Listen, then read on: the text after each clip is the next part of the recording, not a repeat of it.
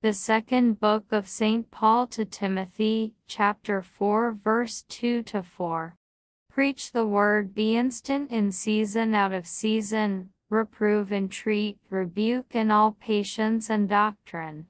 For there shall be a time when they will not endure sound doctrine, but, according to their own desires, they will heap to themselves teachers having itching ears and will indeed turn away their hearing from the truth, but will be turned unto fables. The second book of St. Paul to